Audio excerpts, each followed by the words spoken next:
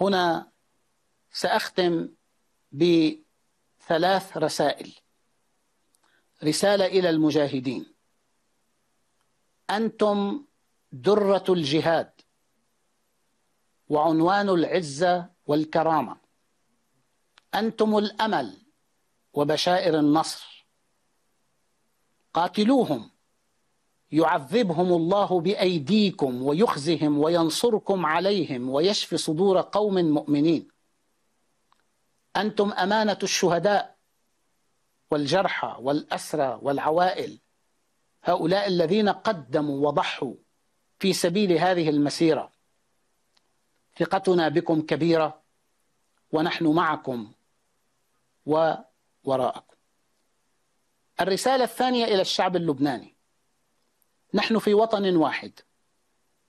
عملنا كل الفترة السابقة من أجل أن نبني هذا البلد وننقذ هذا البلد. إسرائيل هي التي تعطل حياتنا جميعا بعدوانها المستمر.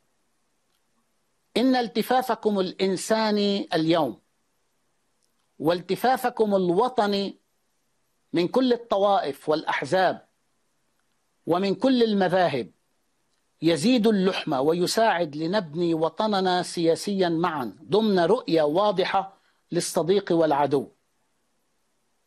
سنكون معا إن شاء الله.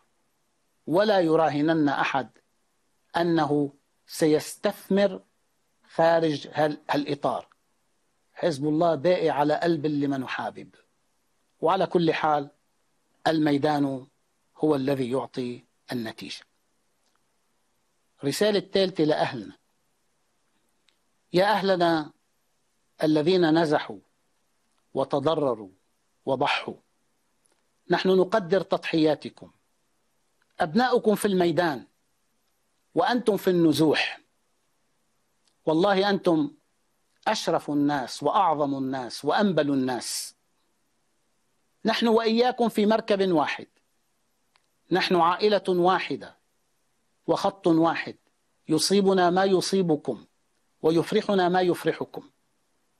نعلم أن التضحية كبيرة لكن علينا أن نتحمل.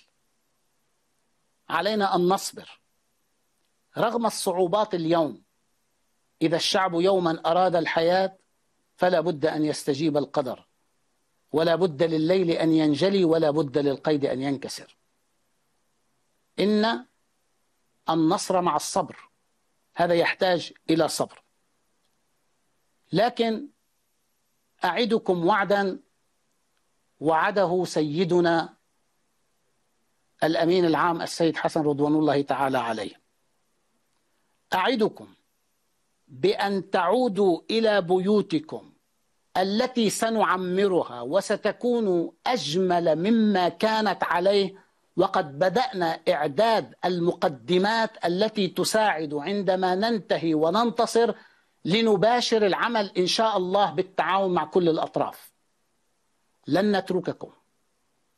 كما نعلم أنكم لن تتركونا وليرى العدو ما هذه المقاومة العظيمة مع شعبها العظيم.